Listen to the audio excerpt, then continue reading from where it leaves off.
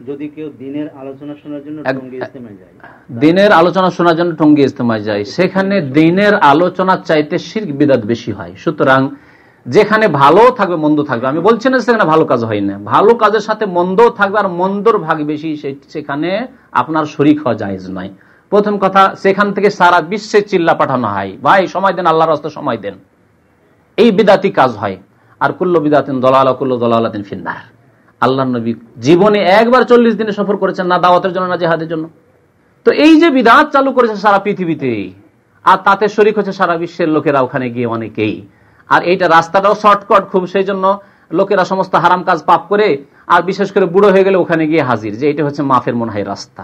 সুতরাং যেখানে ভালো আছে, মন্দ আছে, মন্দ থেকে বাঁচার জন্য আপনার সামান্য ভালোতে শরিক হওয়া যাবে না। জি? যেমন আল্লাহ মদের কথা বলেছেন মানাফিনাস মদে ফায়দাও আছে, কিন্তু তার গোনা ওর চাইতে বেশি সেই জন্য মদ হারাম আল্লাহ করেছেন। মদে যে ফায়দাও আছে। আমাদের আমার দেশে ফাসেক ড্রাইভাররা যারা সারা রাত জেগে গাড়ি চালায়, ট্রাক চালায়, ট্রাক চালা ড্রাইভার বাংলাদেশে, ইন্ডিয়াতে বিনা মদ খাওয়াই পাওয়া মুশকিলই আছে। হ্যাঁ কেউ হয়তো ড্রাইভার থাকলে রাগ করতে, মুশকিল আছে বললাম, অসম্ভব আছে বললাম না। পাওয়া যেতে পারে, শতকরা একটা পাবেন না আপনি, পাঁচশো, সাতশো হাজারটা একটা, দুটো পাবেন আপনি।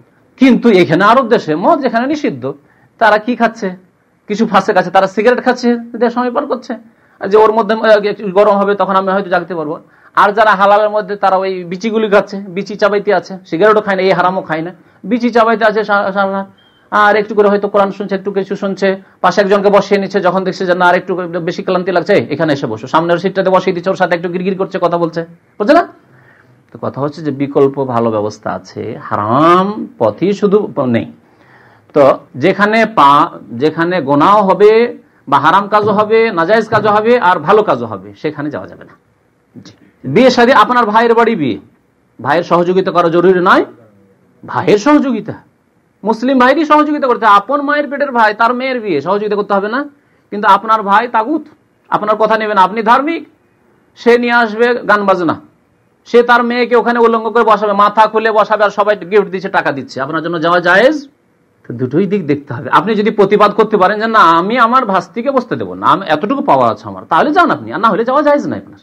তো এই ফর্মুলা যখন জেনে নেবেন, তখন আপনার আর প্রশ্ন থাকবে না যে, টুঙ্গিতে যেতে পারব কি পারব না?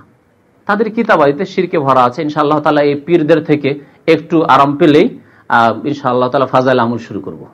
ফাজাইল আমলে যে শির্ক বিদাত ভরা আছে, ইনশাআল্লাহ তালা আপনাদের সাথে ওয়াদা করছি। আল্লাহ যদি সুস্থ রাখেন, শহীদ সালামতি রাখেন, ইনশাআল্লাহ উম্মতকে সাবধান করার জন্য আর কিছু না।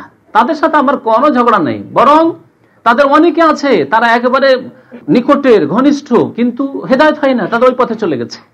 এখনও দাম্মামে যেসব বিদাতি চিল্লা লাগানো লোকেরা আছে, আমাকে দেখলে কিছু লোক আছে, দৌড়িয়ে আসে, আপনারা তো অনেকে মহানাকা করেন না, ও দৌড়িয়ে আসে, আবার জড়িয়ে মহানাকা করবে। কোন অন্তরে শত্রুতা নেই, কিন্তু আল্লাহর জন্য নসিহত করা, সাবধান করে দেওয়া, যে আপনারা যেই পথে আছেন, ভুল পথে আছেন। পথটা ঠিক করে নেন। মুসলিম ভাই আপনারা, ফতোয়া লাগাচ্ছে না যে আপনার ইসলাম থেকে বেরিয়ে, মুসলিম ভাই, কিন্তু বিভ্রান্তির পথে আছেন, এই পথ কিন্তু জাহান্নামে আপনাদেরকে নিয়ে চলে যাবে, সাবধান হয়ে যান একটু। ব্যাস এইটুকু হচ্ছে উদ্দেশ্য।